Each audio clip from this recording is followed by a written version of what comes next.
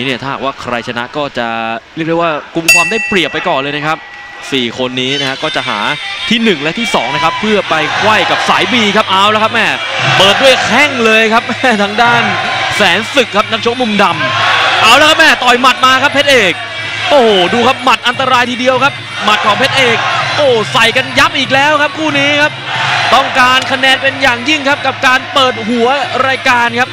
โอ้โหดูครับแม่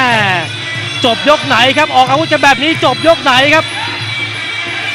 ตีได้ 2 ทีครับจับแยกก่อนเดินเข้าหาครับลำหักลำก้นดีเหลือเกินนะครับแสนศึกครับปัดไม่ถึงเจอซ้ายตบเข้าให้เอาเตะขวาคืนครับ แล้วนี่ครับกระโดดโหนไว้เลยครับแม่ไม่ยอมให้ตัดล่างแต่สุดท้ายก็หน้าหน้าคำมำอยู่ดีครับเพชรเอกโอ้เอาละครับฮุกซ้ายครับของเพชรเอกแสนศึกนี่ไม่สนนะครับ ยิงโดนก็ยิงเดินครับโอ้โหแข้งขวา ดอกนี้นี่เต็มเหนียวเลยครับโอ้เตะเข้าไปเต็มข้อเลย ไม่สนใจครับ เดินต่อแสนศึกขยับโยกเข้าไปแม่หมัดฮุกซ้ายแล้วตามด้วยแข้งครับ ถือว่าทำได้ดีโอ้หล่นแล้วครับโอ้โดนหมัดเข้าไปครับ หมัดขวาครับทิ่มเข้าไป โอ้แสนศึกโดนนับแล้วครับไหวไม่ไหวครับโอ้ดูครับแม่แต่ว่าแววตานี่ยังสู้อยู่นะครับ โอ้ตาสู้หรือตาลอยครับ โอ้ยโอ้อีกหนึ่งนับครับ โอ้อีกหนึ่งนับครับตอนนี้กรรมการผูกจิตครับ นับไปถึงหกครับเจ็ดแปดครับ โอ้โหเอาครับ สู้ต่อครับโอ้โห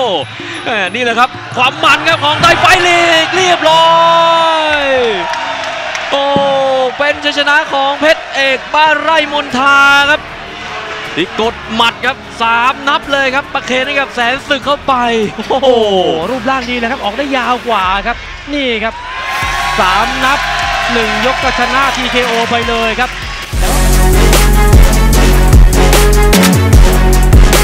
ช้าช้าๆอีกครั้งหนึ่งครับ ต้องบอกว่ามีแววเลยนะครับสำหรับทางด้านเพชรเอกครับโอ้นับแรกครับนี่ครับทิมหมัดเข้าไปครับโดนบริเวณหน้าผากนะครับแต่ว่าด้วยความหนักแรงของหมัดครับ โอ้หงายท้องไปเลยครับแสนศึกเนี่ยแล้วก็จังหวะฮุกซ้ายครับ ดอกนี้ โอ้วูบเลยครับวูบเลยครับหล่นเลยนี่ฮะดูครับจะเข้ามาเอาคืนนะฮุกซ้ายครับแมเต็มคางเลยนะครับโดนเข้าไปเต็ม โอ้ฮุกซ้ายนี่หนักแรงทีเดียวครับ แล้วก็จังหวะจบครับดูครับหมัดขวาทิ่มไปครับ โอ้แล้วกรรมการภูกิจเนี่ยเห็นแล้วครับว่าทางแสนศึกเนี่ยครับไม่อยู่ในสภาพที่ชกต่อได้ครับอะดูอีกมุมหนึงครับฮุกซ้ายไปทีหนึ่งแล้วก็ทิ่มขวาไปอีกหมัดหนึ่งครับ โอ้เนี่ยครับหล่นเลยครับ ล้มทั้งยืนครับเอาครับเดี๋ยวไปดูผลการแข่งขันยังเป็นทางการบนเวทีเลยฮะ